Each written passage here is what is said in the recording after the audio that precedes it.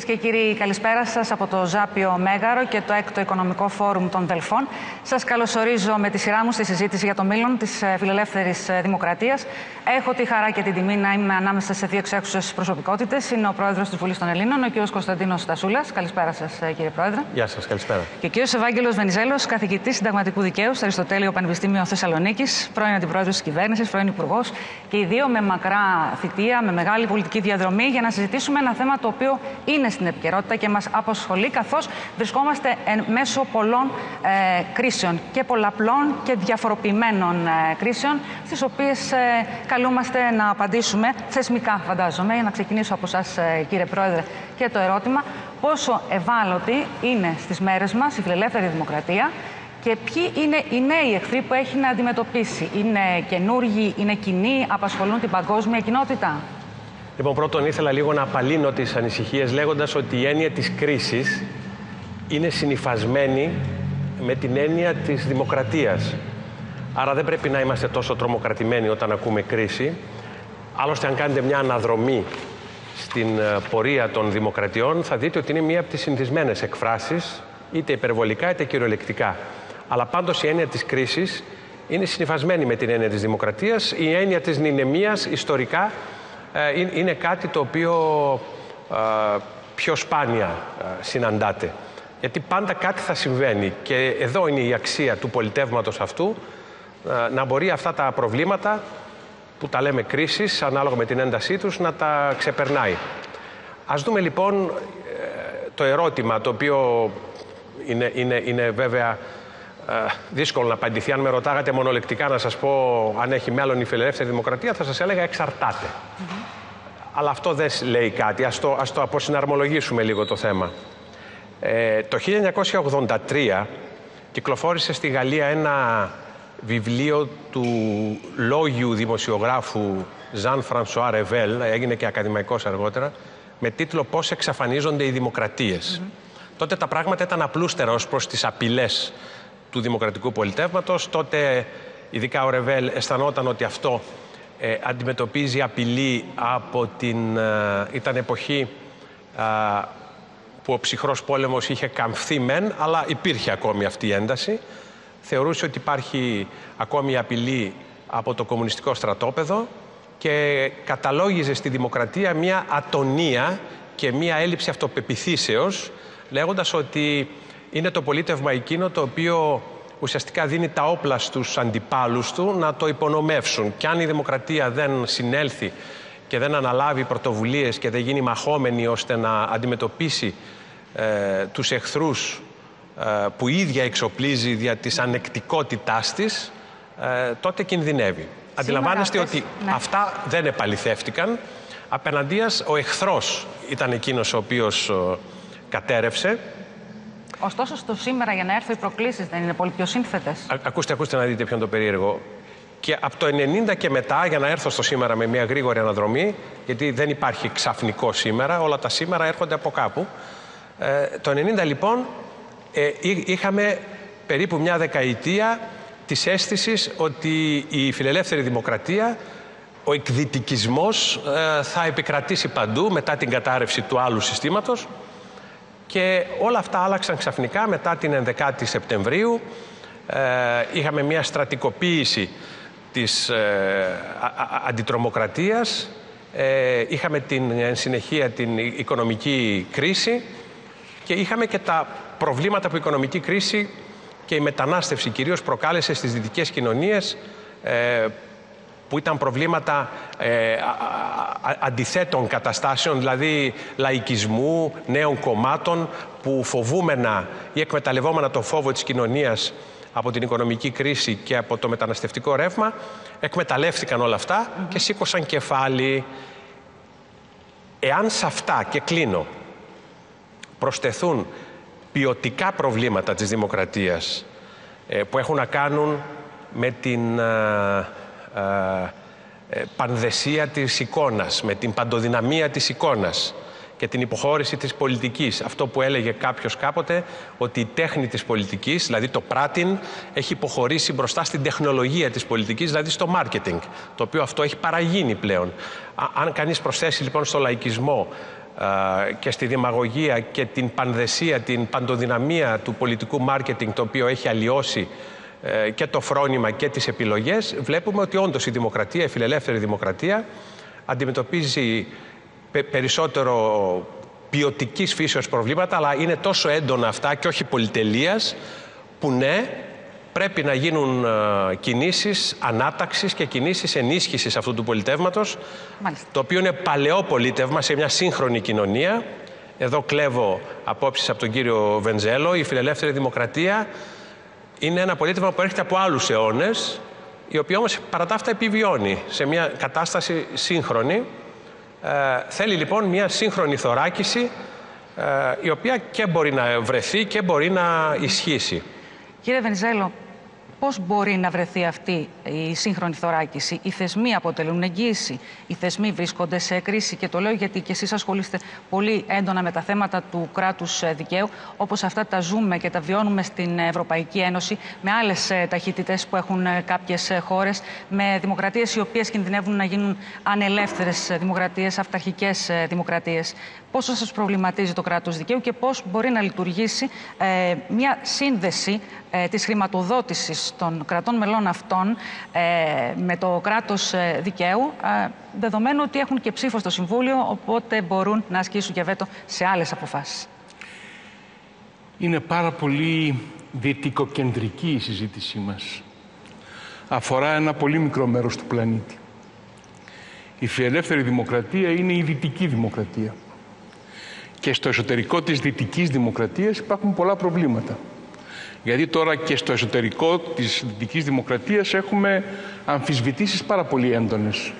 Από τον τραμπισμό στην Αμερική έως το καθεστώς ε, Όρμπαν στην Ουγγαρία, την κατάσταση στην Πολωνία, στη Βουλγαρία, στη Ρουμανία, στη Σλοβακία. Υπάρχουν πολύ σοβαρά προβλήματα ε, κράτους δικαίου, πολύ σοβαρά προβλήματα μη φιλελεύθερης δημοκρατίας, η liberal democracy, σοβαρά προβλήματα πλειοψηφικής δημοκρατίας που την εγκρίνουν οι πολίτες αλλά είναι ταυτόχρονα αυταρχική δημοκρατία και υπάρχουν μεγάλες δυνάμεις του κόσμου, οικονομικές, στρατιωτικές, μόνιμα μέλη του Συμβουλίου Ασφαλείας που δεν διέπονται από δημοκρατικό καθεστώς, ε, από δημοκρατικές αρχές και ρητά τονίζουν ότι πιστεύουν σε άλλες αντιλήψεις. Δηλαδή, για παράδειγμα, η Κίνα δεν λέει ότι είναι δημοκρατία, λέει ότι είναι μεριτόκραση, ότι έχει ένα αξιοκρατικό καθεστώς που είναι ένα συνδυασμός παλαιάς κομμουνιστικής αντίληψης και κουμφουκιανισμού. Ε, δεν μπορεί να πει κανείς ότι η Ρωσική Ομοσπονδία είναι ένα δημοκρατικό καθεστώς με την έννοια του δυτικού κράτους δικαίου και της φιλελεύθερης δημοκρατίας.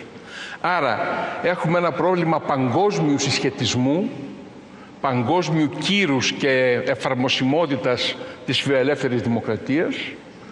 Ε, έχουμε ένα ειδικότερο πρόβλημα που λέγεται Ευρωπαϊκή Δημοκρατία, γιατί η Ευρωπαϊκή Δημοκρατία δεν λειτουργεί, δεν είναι φτιαγμένη για κρίσεις, ούτε φτιαγμένη για πιέσεις. Ε, δυσκολεύεται, δυσκολεύεται να αντιμετωπίσει πολύπλοκες καταστάσεις και φοβάται τον εαυτό της. Ε, είναι εντυπωσιακό ότι στην Ευρώπη φοβόμαστε κάθε εκλογική διαδικασία και κάθε δημοψήφισμα. Φοβόμαστε ότι το αποτέλεσμα μπορεί να δημιουργήσει προβλήματα στην πρόοδο της ευρωπαϊκής ολοκλήρωσης. Στο δε, ε, στο δε αμερικανικό παράδειγμα, στο, στο αμερικανικό παράδειγμα είδαμε ε, την μεγάλη δυτική δύναμη να μην μπορεί να οργανώσει εκλογές, να μην μπορεί να οργανώσει την διαδοχή των προέδρων. Είδαμε ε, κρίσεις θεσμικές οι οποίες είναι αρχαϊκές, τριτοκοσμικές. Άρα υπάρχουν εγγενή προβλήματα, σύμφυτα, που είναι κάτι πολύ βαθύτερο από λαϊκισμό, τη δημαγωγία, την απλούστευση. Υπάρχουν προβλήματα αποτελεσματικότητας. Εδώ συμπολίτες μας, Έλληνες, πιστεύουν ότι τα αυταρχικά καθεστώτα είναι πιο αποτελεσματικά στη διαχείριση της πανδημίας. Ακόμη και τα αυταρχικά εμβόλια είναι καλύτερα υπάρχει μια υπολανθάνουσα συμπάθεια για το κινέζικο και το ρωσικό εμβόλιο. Αυτό σημαίνει πάρα πολλά πράγματα. Ε, σύγκρουση άρα... υπάρχει ανάμεσα στην Ευρωπαϊκή Ανατολή και στην Ευρωπαϊκή Δύση. Σύγκρουση. Όπως είχαμε ε, διαχωρισμούς βορρά κοιτάξτε, στην υπάρχει μια κρίση. Υπάρχει μια κρίση του ευρωπαϊκού κράτους δικαίου, της φιλελεύθερης δημοκρατίας στο εσωτερικό της Ευρωπαϊκής Ένωσης, η οποία δεν είναι σύγκρουση ε, ούτε βορρά-νότου, ούτε ανατολής δύσης, ευρωπαϊκής. Οι χώρες οι οποίες έχουν πρόβλημα κράτους δικαίου είναι οι χώρες εκτός Ευρωζώνης. Και μάλιστα οι μεγάλες χώρες εκτός Ευρωζώνης, επειδή έχουν νομισματική κυριαρχία, ε, συμπτωματικά ή όχι συμπτωματικά, αυτή είναι η πραγματικότητα, αποκλίνουν από τις αρχές του κράτους δικαίου. Πολωνία, Ουγγαρία ε, και έχουμε και χώρες όπως σας είπα προηγουμένως, Ρουμανία, Βουλγαρία, Σλοβακία μόνο είναι μια χώρα που είναι μέλος της Ευρωζώνης. Η Μάλτα επίσης είναι μέλος της Ευρωζώνης. Αλλά μιλώντας για μεγάλες χώρες, το κοινό χαρακτηριστικό τους είναι το κομμουνιστικό παρελθόν και η μη συμμετοχή στο νόμισμα, στο ευρώ. Άρα έχουμε να αντιμετωπίσουμε πολύ σοβαρά προβλήματα και να πούμε την αλήθεια ότι χρειαζόμαστε μια δημοκρατία η οποία να είναι οπωσδήποτε φιλελεύθερη, κράτος δικαίου, ανθρώπινα δικαιώματα, ε, μια δημοκρατία η οποία ε, δεν φοβάται τους εχθρούς της, είναι μαχόμενη, δεν είναι ουδέτερη, δεν είναι παθητική, δεν αφήνει τους εχθρούς της τα μέσα να την υπονομεύσουν, γιατί αν δεν πούμε την αλήθεια με θάρρος και με ιστορικότητα, απλώς θα παρακολουθούμε την παρακμή της φιλελεύθερης δημοκρατίας. Μίλησε και ο κύριος Βενιζέλος για τον τραμπισμό και θέλω να ρωτήσω και εσάς, ε, κύριε Πρόεδρε, γιατί από την αρχή, μετά τις εκλογές δηλαδή και την ε, ήττα Τραμπ, ε, όλοι έλεγαν οι αναλυτές, ο Τραμπ έφυγε, ο τραμπισμός μένει. Μένει όντως ο τραμπισμός. Πόσο μπορεί να απειλήσει την Ευρώπη και πώς βλέπετε τις πρωτοβουλίες ως γέφυρες που ε, απλώνει ο Τζο Μπάιντεν προκειμένου να αλλάξει το κλίμα στις Ηνωμένες Πολιτείες; Κοιτάξτε, αυτά είναι λίγο πρόωρα. Ο τραμπισμός προφανώς έμεινε γιατί πήρε νομίζω 5 εκατομμύρια ψήφους παραπάνω από ό,τι είχε πάρει όταν κέρδισε. Άλλο αν ο Μπάιντεν πήρε ακόμη περισσότερο. Άρα δεν ε, ούτε συνετρίβει ούτε ιτήθη κατά κράτος. Ήταν μια ήττα ευπρεπής. Ε, και πολλοί λένε ότι αν δεν είχε μεσολαβήσει η πανδημία, το πιθανότερο θα ήταν να κέρδιζε πάλι ο, ο τραμπισμός, όπως τον λέμε.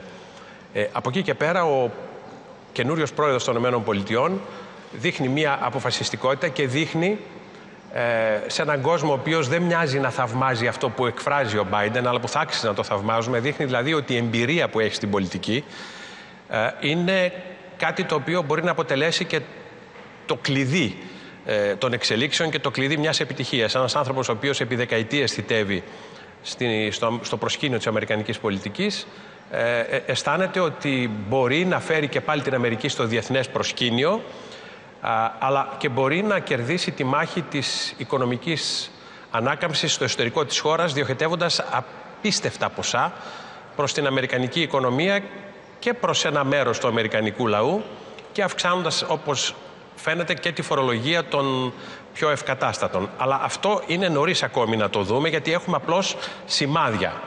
Ε, εγώ θα σταθώ Καλή θέμα... όμως σε σύνοδο τι δημοκρατικές κυβερνήσεις σε συμμαχία για να αντιμετωπιστούν τα προβλήματα της ε, φιλελεύθερης δημοκρατίας και όλα αυτά που έχουν ε, απομακρύνει τον κόσμο. Βεβαίως, αλλά, αλλά αν μου επιτρέπετε, έχω μια άλλη αντίληψη για το τι απομακρύνει τον κόσμο από αυτό που συνήθως λέμε. Συνήθως λέμε ότι ο κόσμος απομακρύνεται γιατί δεν υπάρχει συμμετοχή. Να. Άρα πρέπει να ε, συμμετέχει. Αλλά ξέρετε, σε μια δημοκρατία η συμμετοχή δεν είναι κάτι που θα το επιβάλλεις μια δημοκρατία είναι εντάξει με τον εαυτό της όταν παρέχει τη δυνατότητα συμμετοχής. Η γοητεία της συμμετοχής είναι άλλο θέμα. Και πάμε τώρα στη ρίζα κατεμέ του προβλήματος, όπου για να γίνει γοητευτική η συμμετοχή, θα πρέπει η δημοκρατία, ειδικά η σύγχρονη που δέχεται όλες αυτές τις απειλές και τις διακινδυνεύσεις, να γίνει περισσότερο αποτελεσματική. Θα σας πω ένα παράδειγμα που έχει να κάνει με αυτό που λέμε grassroots politics, βασικά πολιτικά θέματα, αλλά στην Ελλάδα, για να καταλάβετε την αξία των ειδών συμμετοχής και τι συγκινεί τον κόσμο στην πραγματικότητα. Στην Ελλάδα είχαμε τα συνοικιακά συμβούλια, ένα θεσμό που έγινε πριν από δεκαετίες. Και έχουμε και τις σχολικές επιτροπές. Και τα δύο είναι θεσμοί συμμετοχής, τοπικοί, έχουν συγκεκριμένο αντικείμενο. Επειδή όμως τα συνοικιακά συμβούλια δεν έχουν εξουσίες και ούτε πόρους, είναι μόνο για να εκφράζουν γνώμη, εκφυλίστηκαν. Οι σχολικές επιτροπές, επειδή έχουν πόρους και ευληγησία να κάνουν έργο στα σχολεία, συγκεκριμένο πρακτικό, όχι μόνο επεβίωσαν, αλλά ανθούν. Και υπάρχει, επειδή έχω κάνει και δήμαρχος και έχω ρωτήσει και δημάρχους σύγχρονους, τωρινούς, α, υπάρχει ενδιαφέρον για να μετέχει κανείς στα, α, στις σχολικές επιτροπές. Γιατί δεν εξαντλούνται σε γνώμες, πράττουν. Ενώ τα συνοικιακά συμβούλια που είναι γνώμες, εκφυλίστηκαν και υπάρχουν ελάχιστα στην Ελλάδα πλέον.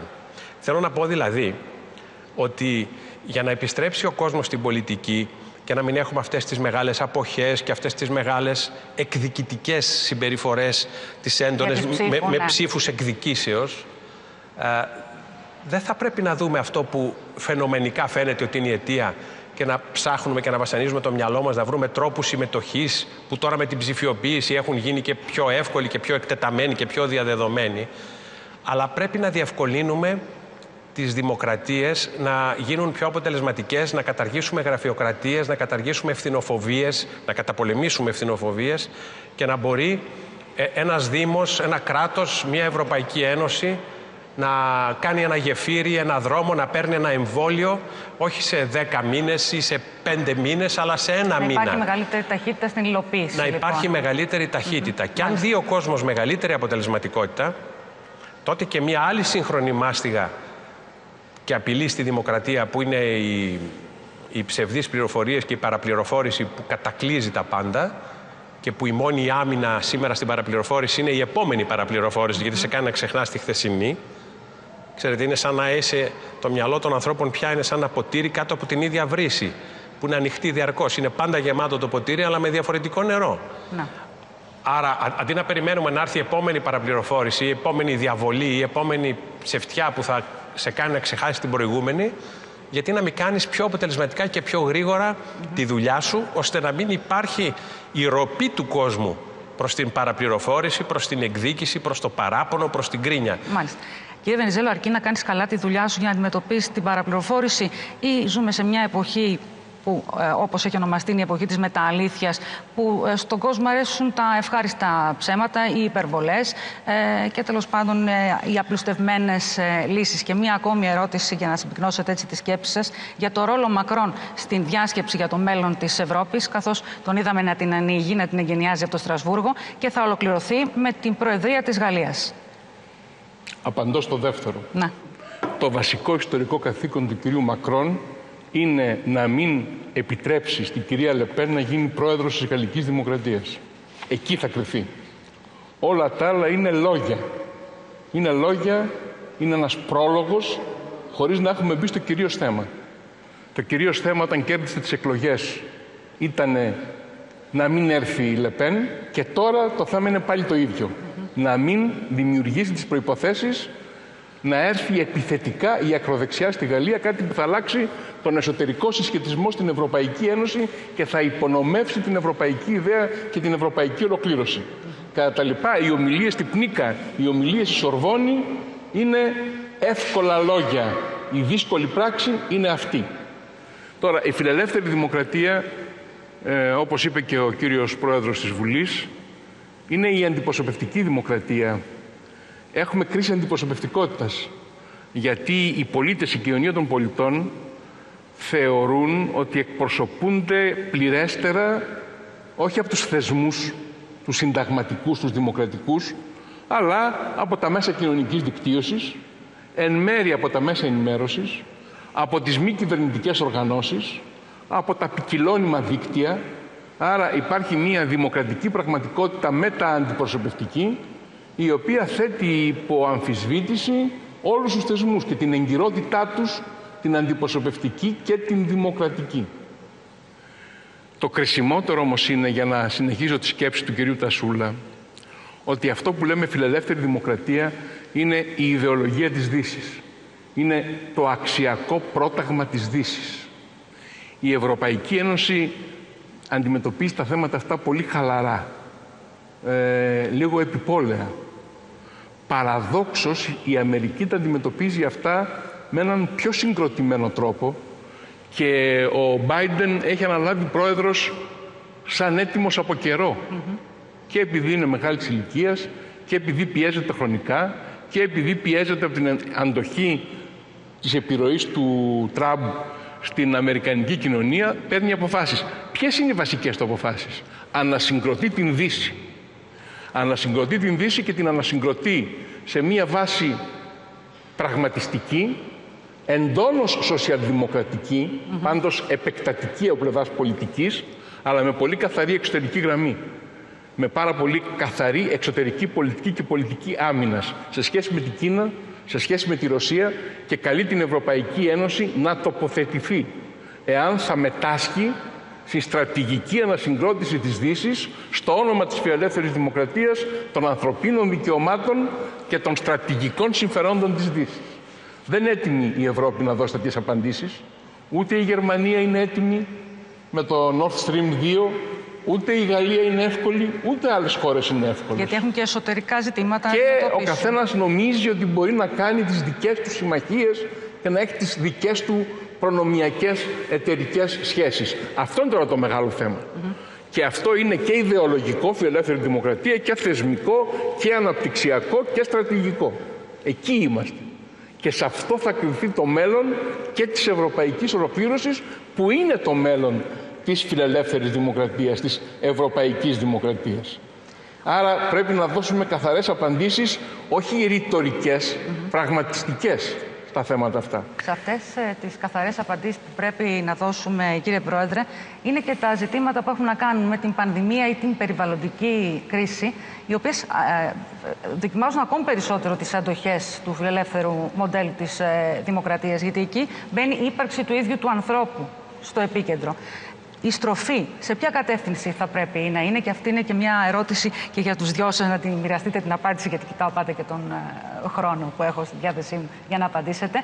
Είναι προς τον ουμανισμό, προς μια περιεκτική ε, δημοκρατία. Η στροφή είναι προς μια αποτελεσματική δημοκρατία, επιμένω. Δεν είναι πια θέματα ε, ποικιλώνυμων ε, επιθετικών προσδιορισμών. Εγώ επιμένω στην έννοια της αποτελεσματικής δημοκρατίας. Είχε ξαναγίνει αυτή η ανησυχία για το περιβάλλον. Δεν είχε προκύψει το θέμα της, της υγειονομικής κρίσης. Ο Σίκο Μάνσχολτ, ο πατέρας της πράσινης Ευρώπης, της κοινής αγροτικής πολιτικής, όταν ανέλαβε πρόεδρος της Εκτελεστικής Επιτροπής της ε, τότε ΕΟΚ, είχε ανησυχήσει από μια έκθεση που είχε κάνει το MIT, το Τεχνολογικό Ινστιτούτο της Μασαχουσέτης, το 1971 την έκανε, με τον τεράστιο ηλεκτρονικό υπολογιστή που είχαν τότε, που έλεγε ότι το 2000 έτσι όπως πάνε τα πράγματα δεν θα υπάρχει σχεδόν ζωή στον πλανήτη. Και το τεκμηρίωνε με βάση διάφορες δυσίωνες προβλέψεις μέσα στις οποίες ήταν το περιβάλλον και η έλλειψη τροφίμων που θα σημειωνόταν. Και αυτός από την αγωνία του α, καθιέρωσε την πράσινη Ευρώπη και την α, κοινή αγροτική πολιτική η οποία τουλάχιστον εξασφάλιζε την α, επάρκεια τροφίμων δεν επαληθεύτηκε βέβαια ο τεράστιος ηλεκτρονικός υπολογιστής του, του MIT, αλλά ε, δεν επαληθεύτηκε το 2000. Σήμερα υπάρχει μια σοβαρή κρίση περιβαλλοντική. Η Ευρώπη υπόσχεται ότι το 2050 θα είναι η πρώτη ήπειρος ουδέτερη από πλευράς ε, εκπομπής άνθρακος. Ε, η πανδημία μας έδειξε ότι είμαστε απολύτως ευάλωτοι και δεν μπορούμε μόνοι μας να τα χειριστούμε αυτά. Άρα από το έθνος κράτος, για να πάμε και στις παραδόσεις του 1821 που δημιούργησε το πρώτο ε, ε, ε, έθνος κράτος στην ευρύτερη περιοχή, πήγαμε στο κράτος μέλος και τώρα το κράτος μέλος, τα κράτη-μέλη δηλαδή, θα πρέπει να αντιληφθούν ότι θέματα ζωτικής σημασίας, όπως αυτά που θέξατε, το υγειονομικό και το θέμα του περιβάλλοντος, πρέπει να τα διαχειριστούμε μέσα σε μια πολύ πιο κοινή αντίληψη η οποία όμως αντίληψη δεν μπορεί να περιορίζεται σε δημόσιες σχέσεις και σε συμβολικές κινήσεις που σου εξασφαλίζουν μια δημοφιλία 10 δευτερολέπτων. Δηλαδή επικοινωνιακές. Επικοινωνιακές. Ε, ξέρετε, υπάρχει μια προκοπή που σημειώνουν κάποιοι μέσω συμβολικών κινήσεων. Αυτό είναι πολύ πρόσκαιρο πλέον. από εδώ και πέρα... Και βοηθήστε με λίγο για να Από εδώ και πέρα, αυτά τα δύο θέματα πρέπει τα κράτη-μέλη, ειδικά εμείς, που μετέχουμε σε ευρύτερους οργανισμούς να τα αναθέσουμε να τα χειριστούν ε, ε, ευρύτεροι οργανισμοί και να δεχτούμε τα αποτελέσματα και τις, ε, τα συμπεράσματα και τις επιταγές, όσο ενοχλητική και αν αυτή η λέξη, ε, των διεθνών αυτών φορέων, προκειμένου και στο υγειονομικό και στο περιβαλλοντικό σκέλος να προλάβουμε τα χειρότερα, τα οποία αν δεν έγιναν το 2000 θα γίνουν σίγουρα πολύ σύντομα αν δεν πράξουμε και όχι συμβολικό το τρόπο. Κύριε Βενιζέλο, με εσάς θα Κύριε ολοκληρώσουμε θα τη σας πω συζήτηση. δύο λέξεις τις οποίες νομίζω πρέπει να συγκρατήσουμε. Η πρώτη λέξη είναι Ινδία. Το μέλλον της φιλελεύθερης δημοκρατίας θα κρυφθεί στην Ινδία. Η Ινδία είναι μια πολυπρόσωπη χώρα, δύσκολα κυβερνήσιμη, με τεράστια προβλήματα. Εάν καταφέρει η Δύση να κρατήσει την Ινδία στο δημοκρατικό στρατόπεδο σε αντίθεση με την Κίνα, ο χάρτης θα έχει γραφτεί με κάποιον ενδιαφέροντα τρόπο για το μέλλον. Κρατήστε το αυτό. Μιλάμε για τη χώρα που είναι η πολυπληθέστερη και θα είναι τις επόμενες δεκαετίες. Αγγλόφωνη, με ροπή στα θέματα της τέταρτης βιομηχανικής επανάστασης και της πέμπτης βιομηχανικής επανάστασης. Η δεύτερη λέξη. Η φιλελεύθερη δημοκρατία κινδυνεύει από ένα παγκόσμιο dubbing που γίνεται εις βάρος της. Πολύ απλά dubbing είναι ότι κάποιος ανταγωνιστής σου πουλάει σε τιμές φτηνότερες του κόστους. Άρα υπάρχουν περιοχές που δεν σέβονται τα ανθρώπινα δικαιώματα, πουλάνε φτηνότερα, χωρίς κόστος προστασίας του κράτους δικαίου. Δεν έχουν δημοκρατικές εγγυήσεις, πουλάνε φτηνότερα ως αυταρχικά πολιτεύματα. Δεν σέβονται το περιβάλλον, πουλάνε χωρίς περιβαλλοντικούς όρους. Δεν σέβονται την παιδική εργασία, πουλούν φτηνότερα. Κοινωνικό η, η- η συμβόλαιο. φιλελεύθερη δημοκρατία λοιπόν είναι ε, εκτεθειμένη στο κίνδυνο ενός κολοσιαίου παγκόσμιου ντάμπινγκ που γίνεται εις βάρος της. Αυτό είναι πρόβλημα για τη φιλελεύθερη δημοκρατία, για την Ευρωπαϊκή Ένωση και για την Δύση γενικά. Ένα κοινωνικό συμβόλαιο καινούριο Με ένα ε, παγκόσμιο χρειάζεται. συμβόλαιο, ναι. ένα παγκόσμιο συμβόλαιο καινούριο, Με τον άνθρωπο στο το επίκεντρο οποίο και όχι ούτως τις ή άλλως αγορές. πρέπει να γίνει λόγω και των μεγάλων νομισματικών προβλημάτων που υπάρχουν. Είναι αυτή η ιστορία ενός νέου, νέου Bretton Woods, αλλά αυτό είναι μια άλλη συζήτηση που θα την κάνουμε μια άλλη φορά. Με πολύ μεγάλη χαρά σας ευχαριστώ. Ίσως του χρόνου στους Δελφούς, επιτόπου. Ναι, ακριβώς. Να είστε καλά, σας ευχαριστώ και τους δύο για την συμμετοχή σας. Να είστε καλά. Ευχαριστούμε.